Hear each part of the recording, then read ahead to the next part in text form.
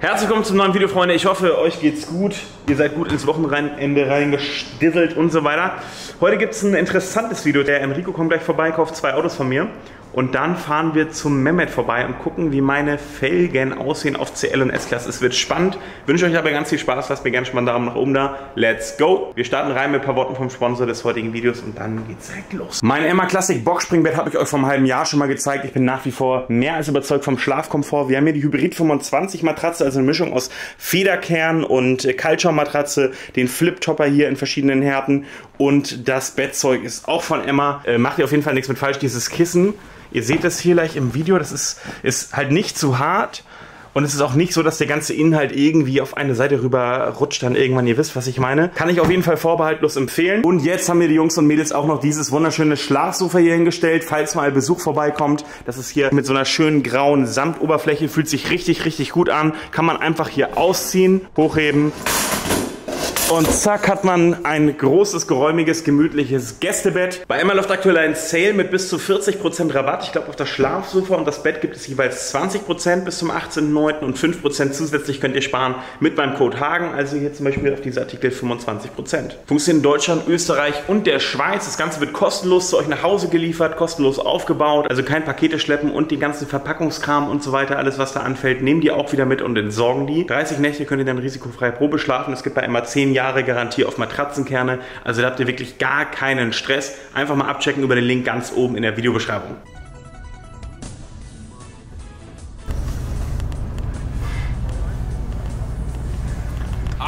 Hagen! Gleich Fan-Meeting hier in Hamburg. Ist das hier die Offroad-S-Klasse, die du hier in den Wäldern gebumst hast von früh abends?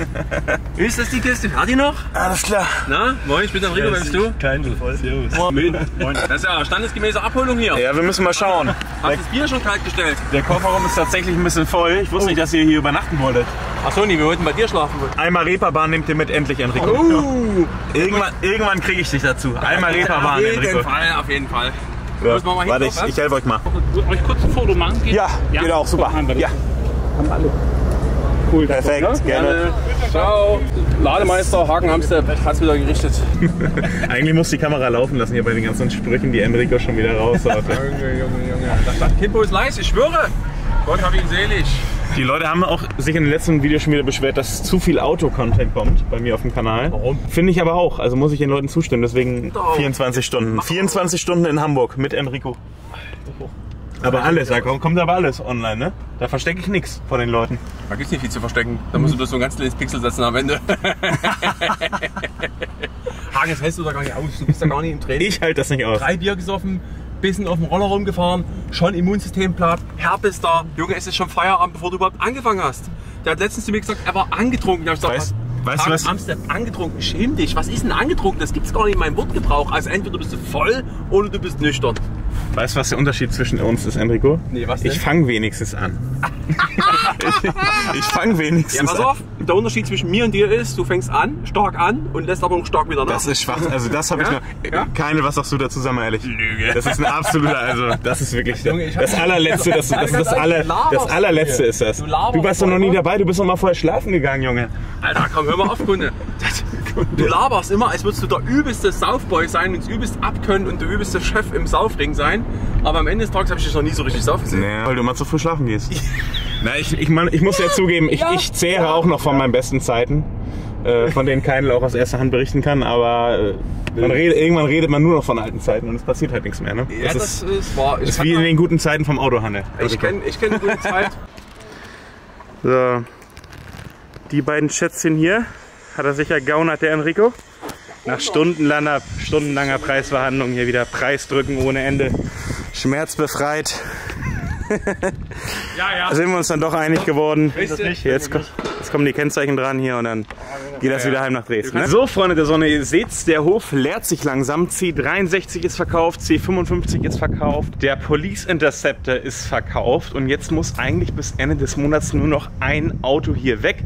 Der Bentley Anarch, ich bin da noch am überlegen, ob ich in Enrico ein unschlagbares Angebot mache oder ob ich das Auto irgendwo bei uns in die Händlerauktion stelle. Das ist hier auch mehr oder weniger um die Ecke. Einen habe ich gerade noch, mit dem ich über Kleinanzeigen schreibe, über das Auto, aber das gestaltet sich leider alles ein bisschen mühselig. Pia ist gerade dabei, den Räumungsverkauf hier zu verpacken. Pia, wie läuft's? Genau, das sollte jetzt alles bis Ende der Woche durch sein. Eigentlich fast alles weggegangen, bis auf hier ja, so ein paar orangene Crewnecks. Also wenn ihr im Shop noch vorbeischaut, dann guckt ganz nach unten. Die orangenen Crewnecks gibt es jetzt hier noch mit 30% Räumungsverkauf. Zack. Und die Felgen, die nehmen wir auf jeden Fall mit in die neue Location. Jetzt fahren wir aber erstmal zum Mehmet vorbei, denn der hat sich zwei Sätze gesichert. Und wir sehen die Felgen heute das zweite Mal fertig montiert auf einem Auto. Ich bin gespannt, viel Spaß. Mehmet, was sehe ich da, mein Lieber? Was siehst du denn da? Grüß dich. Wie geht's dir? Alles gut, ne? Hi. Moin. So, Freunde, das ist jetzt eigentlich erst das zweite Mal, dass ich meine eigenen Felgen auf einer Karre sehe. Aber ohne Kappen, ne?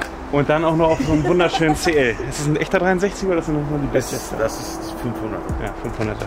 Aber geil. Aber Hagen, wo ist die. Kappen, Digga? Komm, Sollen wir erstmal die Kappen drauf machen und dann jeden.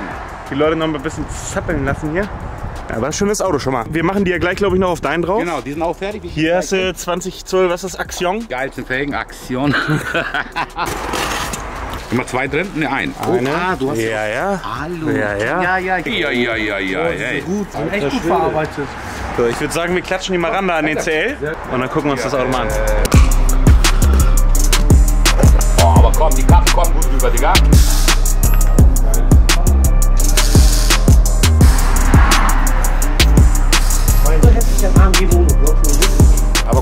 CL ist schon ein tolles Auto, ne? Also Ich zeitlos. Ja, ja. Also wirklich, egal wer jetzt sagt, Assi, Prollig, Mrollig, es ist wirklich ein Kunstwerk. Ja, dadurch, dass sehr viel Material in der Mitte, dadurch wirkt es natürlich massiver, wuchtiger Größe auch. Ja,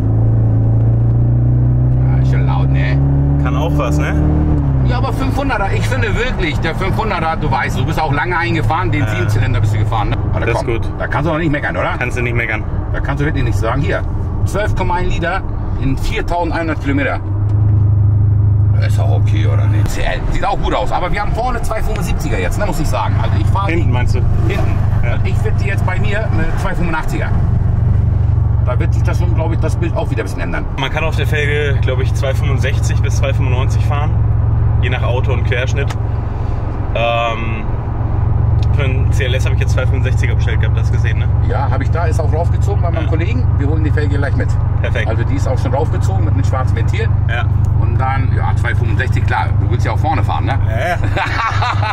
du willst ja auch vorne haben, ne? Genau. Mal, der hat hier hinten die 275er.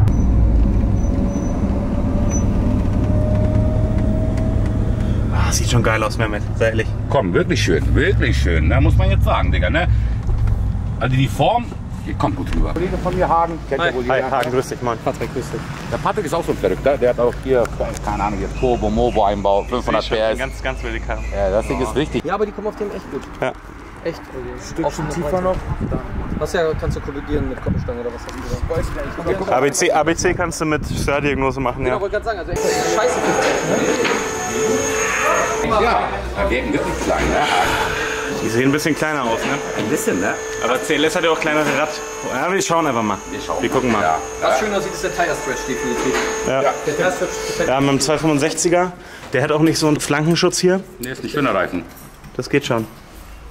Mal gucken, ob wir die vorne reinkriegen, Alter. Bin ich aber, irgendwie keine Ahnung. Da hinten sind deine noch hier, oder was?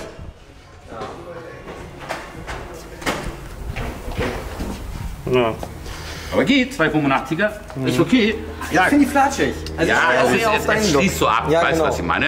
Aber Aber, irgendwie 275er sehen krasser aus und die 265er ja, aber ich stehe hinten auf das Ich weiß, du voluminöse, weißt du, wenn du hinterm Auto stehst, du merkst die 275, die 285, du merkst das, wenn du hinterm Auto stehst. Wir sehen, wir wollen ja gleich mal sehen. Alles gut. Die 275, die 280er sieht. Ich finde auch, wenn der Reifen ein bisschen weiter drin steht, also auf Safe, dann finde ich das eigentlich auch fast so besser. Ich finde diesen Stretch eigentlich nur geil, wenn, das, wenn die Felge auch so richtig am Limit draußen ist, oder?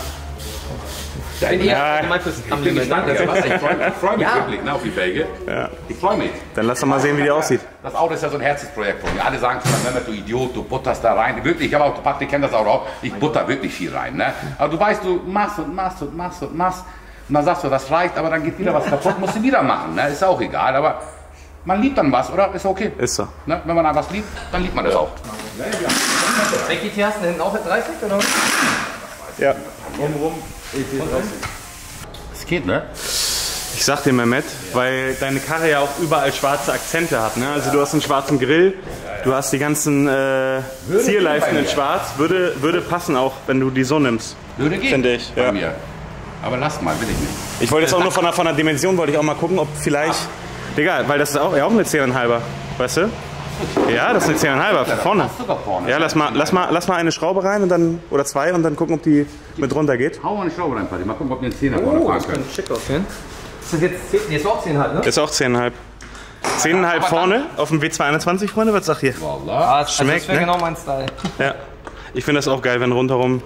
Hast du gerade über die Bremse alles? Ja. Siehst du. Ist zweigängig. Ja, ja. Na, hier hinten. Hast ja gut, Finger Millimeter? geht durch. Ein Finger Nee, geht ist frei. 5 mm gehen, 5 ja. mm sagt man. 5 mm sind 15 steht drauf.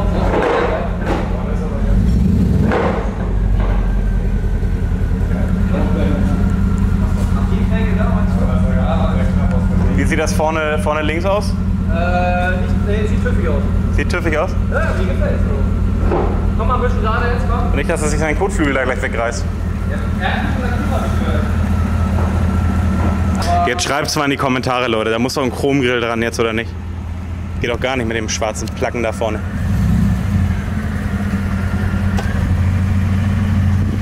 So, Die Seite ist jetzt komplett original, so wie es geliefert wird. Vorne 9x20 ET30, ohne Spurplatte, hinten 10,5.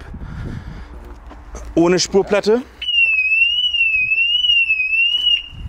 Und auf der, auf der Seite ist jetzt mit 10er, was ist das für eine Spurplatte? 12, habe ich gerade ausgemessen. Ja. Ah, das ist schon. Äh, das ist aber wirklich. Aber auch ohne Platte. Da brauchst du aber einen Tüffer, der hier, sag ich mal, zwei Augen zudrückt. Ne? Der sieht ohne Platte schöner aus, weil du vorne und hinten gleich, sag ich jetzt mal, stehst. Aber auf der Seite, weil du vorne die breitere Felge hast, sieht's geiler aus. Der Seite ist jetzt hier vorne links auch eine 10,5 drauf, halt in einer anderen Farbe. Deswegen sieht es natürlich insgesamt beschissen aus. Aber wenn du nur diesen Bereich hier anguckst, er ist jetzt auf der Kamera auch scheiße, weil es gegen das Licht ist. Aber 10,5 vorne, ganz mies. Das sieht. Das kommt komplett mies, oder? Ich find's Böse. sieht echt schick aus. Aber die Farbe natürlich passt nicht so, ne? Die wirkt sehr klein jetzt vorne. Guck dir das mal Ja. an. Das sieht Guck mal, die hintere Felge wirkt um das mal an. zwei Zoll größer als die vordere, ne? Ja, das stimmt. Guck dir das an. Ich meine, der Konstrukteur hat sich natürlich auch was dabei gedacht. Ne? Ist ja klar. Nicht nur, dass es komplett legal ist, sondern es sieht auch wirklich schick aus. Und das in der Kombi auf 221er, 216er, wie ihr drüben seht, 230er, 219er. Alles. Das hier, was wir hier gemacht haben, ist Bastelei. Nach aktueller Verordnung müssen doch, muss doch der gesamte, das gesamte Rad, also auch die Felgenkante, oder nicht? Oder nur die Lauffläche? Also, Radmitte 15 cm und dann hier die komplette Achse sozusagen muss dann abgedeckt sein. Dann hast du noch einen Gradwinkel 15 nach hier, 25 nach da, bla bla. Geht doch hier die geil. Ja, ja, Aber- Aber das meine ich ja, es muss, die Felge muss theoretisch, ne? Ja, also die Felge, es gibt ja auch Felgen, die sind nach außen mit dem Stern gebaut, die sind auch äh, zulässig, weil der Reifen halt abgedeckt ist. Wir haben ja auch ein deutsches und ein europäisches Gesetz, da muss man halt aufpassen. Aber er wird Ich glaube, europäisches Gesetz sagt, wenn ich mich nicht täusche, dass du gar nichts drüberstehen haben darfst. Und das deutsche Gesetz sagt, die Lauffläche da muss abgedeckt Also er sein. wird auch Ich bin neu verliebt, Digga. Ich bin ja komplett, komplett neu in C216 auch verliebt, wo ich die gesehen habe. Da kommen die gut drüber, Digga. Jetzt nochmal Test hier 10,5 mal 20 ET30 ohne Spurplatte vorne auf dem CLS C219. Freigängigkeit ist gegeben. Allerdings nicht, ich glaube, keine 5 mm hinten zu dem Teil hier. Aber wir gucken jetzt einfach mal, wie der im Radkasten steht. Mama? Kommt da ein Kotflügel ran? Nein. Ne, ist gut. Freilauf ist da. Ist komplett, ja. Ey, kommt ultra brutal. Also ich sagte offen und ehrlich, Ja, die kriegst du doch eingetragen. Das kriegst du eingetragen, ja. Aber ich guck nicht raus. Guck mal, das sieht so geil aus, Bruder. Da muss ich ja. das für vorne, vorne. Das, ohne Scheiß, da muss ich komplett los. Das kommt gerade auf Kamera auch komplett geil mit der Bremse vom CLS 55. Digga, das ist komplett böse. Ich hätte nicht geglaubt, dass sie da passen. Du hättest nicht geglaubt, ne? Äh, das niemals. ist ein große Radkästen, hat er aber. Eigentlich habe ich über dich gelacht, als du den letzte Woche kamst und die 10 nach vorne Nee, nee, nee. wolltest. Nein, nein, nein. Ich bin aber mal gespannt mit 5er Platte, wie weit er hier rausgucken Es, es steht einfach perfekt. ja, so steht er nämlich perfekt. hier. Noch perfekter mit der 5 Ja, Das war doch mal ein schönes Update zum Thema Felgenprojekt, Freunde. Mir gefällt es wirklich richtig gut, gerade speziell auf dem C216. Schwarzes Auto, Silberfelge, einfach eine klassische, traumhafte Kombination. Ich hoffe, euch gefallen sie auch wie mir. Ich weiß, Eigenlob stinkt, aber ich bin bin auch ganz ehrlich gesagt einfach ein bisschen stolz drauf, dass die Felgen von meiner Idee im Kopf jetzt auf der Straße auf Autos rumfahren mit TÜV und das ist einfach toll. Wenn ihr mehr Infos dazu haben wollt, einfach eine Mail schreiben, hagen.valueclothing.de, dann kümmern wir uns drum. Vielen Dank euch erstmal fürs Anschauen des Videos. Euch noch einen schönen Tag. Bis zum nächsten Mal. Haut rein. Ciao, ciao.